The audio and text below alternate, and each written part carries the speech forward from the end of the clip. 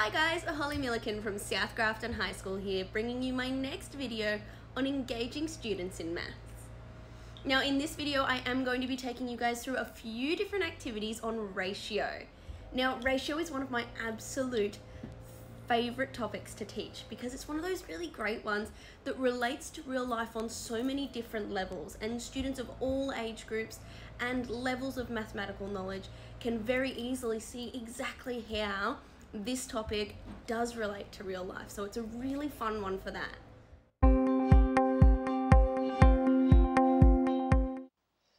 This first activity is called Four in a Row Ratio and it is aimed at a stage 4 level and is a great little activity to really link those numerical ratios to pictures to really get that deep understanding for students.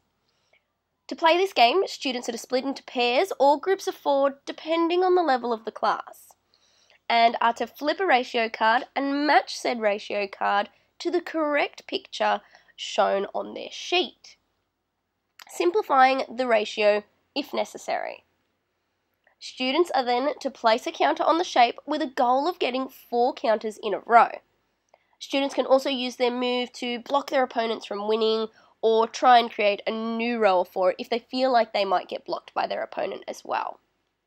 This is a great little game which I often use to finish off a ratio lesson, and the students really seem to enjoy battling it out to get four in a row.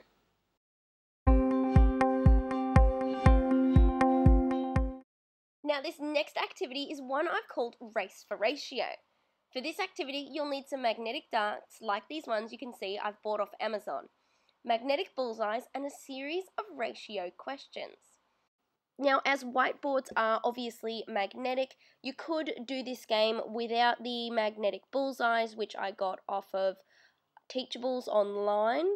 Uh, but the, I find that having the actual bullseyes there just makes it that little bit more fun and engaging for the kids. Students are split into pairs and allocated a dart. They need to throw the dart and hit the target, taking the question underneath the bullseye once they hit the appropriate target. Questions are worth different points, and students try to collect as many points as possible throughout the lesson. I will usually use this activity in place of a revision sheet for a topic as it gets the kids moving around the room and trying something a little bit different just to try and keep them a bit more engaged.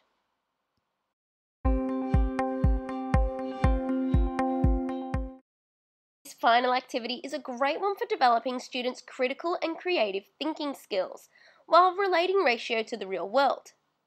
This investigation task could easily be set as a summative take-home investigation or used as an in-class task.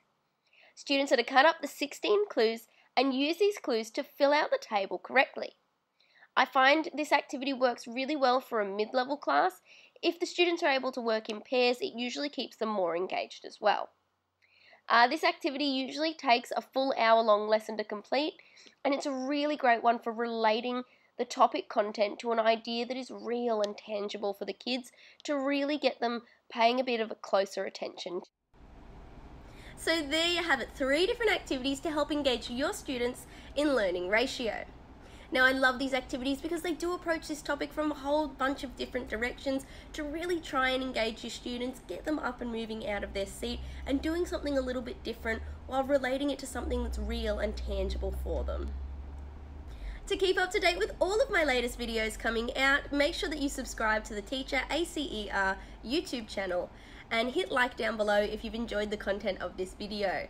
If you have any requests for upcoming videos, please make sure you drop a comment down below. I am always more than happy to make videos uh, to what you guys need.